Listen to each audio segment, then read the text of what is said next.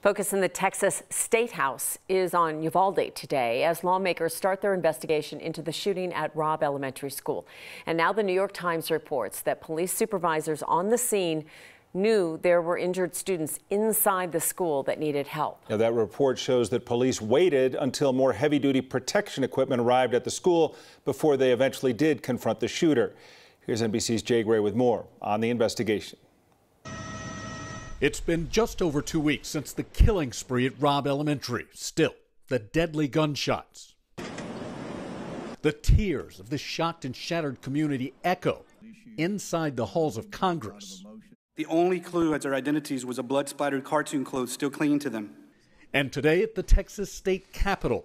The people of Uvalde and the entire state of Texas deserve the facts and answers. Lawmakers opening their investigation into the mass shooting in Uvalde trying to find out how it happened and make sure it never happens again. We have a duty to do what we can because our children's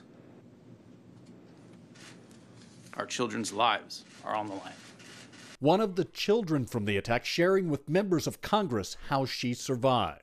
He shot my friend that was next to me, and I thought he was going to come back to the room, so I grabbed the blood and and put it all over me.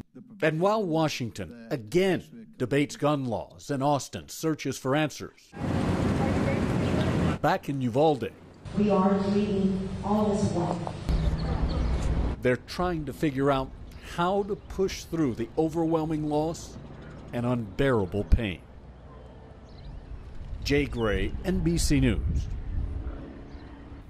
Meanwhile, March for Our Lives, that's the gun control advocacy group started by survivors of the Parkland school shooting back in 2018, is now starting another series of marches against gun violence in schools. They're organizing marches this Saturday across the country. The largest one will be in Washington, D.C. There are several planned in Colorado as well.